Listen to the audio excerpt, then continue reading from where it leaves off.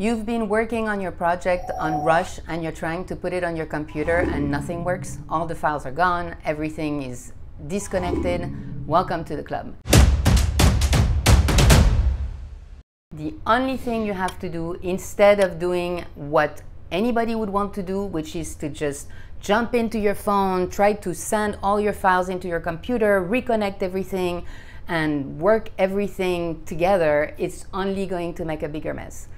What I find is that it takes time. You just need to make sure nothing else is downloading on your computer. If you have Dropbox or Adobe Suite doing anything, downloading software or whatever, stop it stop everything else and let it do its job. It's going to sync. If you're filming in 4K, it's going to take a little while. It may take a few hours. I don't know. It depends on your Wi-Fi. It depends on a lot of different things.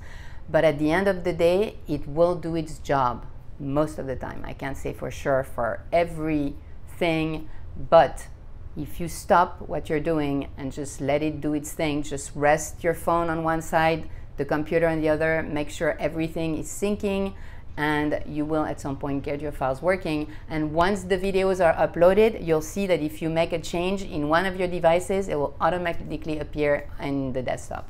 And so just chill. Don't do anything. Let it do its job. It's going to sync. Just be patient.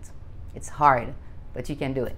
Please, in the comments below, let me know if this trick actually works for you. If not, uh, there are a lot of information out there on how to resync I actually, to be honest with you, I don't recommend using Rush onto your desktop because it takes so long and because it just doesn't really give you too many more tools that are easier to deal with on the desktop. So if I were you, just stick to Rush on your iPhone or your iPad, whatever you're using, and just to finish, I think it's one of the best tools you can have if you want to edit on the fly. You go to an event, you do a little video, you want to do something cool, just open it in Rush, do your edits. It has quite a lot of things that you can do on it.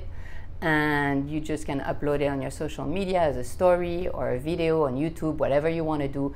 It's really, really a good software.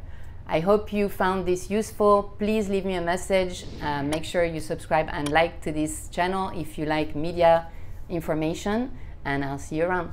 Have a beautiful day. Bye bye.